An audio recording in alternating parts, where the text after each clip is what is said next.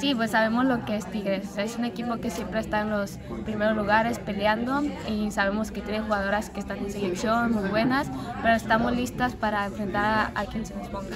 ¿Depende un clásico más de las individualidades o del trabajo en conjunto? Porque a, veces los partidos suelen ser cerrados, eh, pero es una, individualidad termina eh, definiendo el rumbo de un partido y en esta clase de partidos pues las dos cosas pueden ser importantes, ¿no? Pero para ti, ¿qué crees que sea lo más importante? Para mí es el equipo, el equipo, o sea, sí hay muchas individualidades que siempre a minutos finales son las que, que van y rompen el marcador, pero eso viene de atrás de un equipo que viene